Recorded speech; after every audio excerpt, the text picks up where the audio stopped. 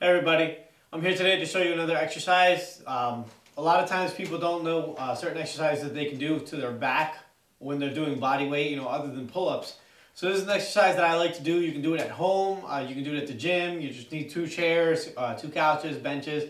Preferably something that has a little bit of cushion right here. That's why two benches would be okay. Uh, couches preferably, you know, if you're not gonna be moving them chairs, but if you're gonna have chairs like this, these are a little hard. So when you when you do the exercise, I'll explain. You might want to just put like a towel over to uh, to avoid it from hurting. So what we're gonna do, this is called the scapular shrug. Okay. Now I'm gonna get in this position here. I'm gonna put one elbow. I'm gonna sit down first. Put one, both my elbows down on each side. So you see, I have a little bit of room here. Okay. Now what I'm gonna do, I'm gonna from this position put my feet flat on the floor and I'm gonna raise my hips. Okay.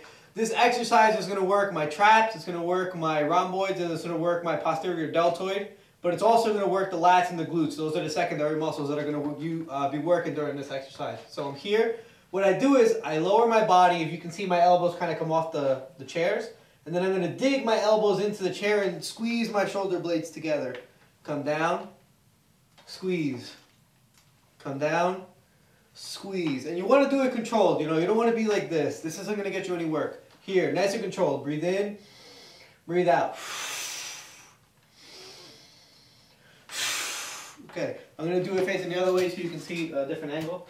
So same thing here. I sit down first. You want it to be just about here. You see I'm sitting down. If I put my elbows, this is kind of the position I want to be in just so I can be sort of flat when I lift, when I lift up my hips.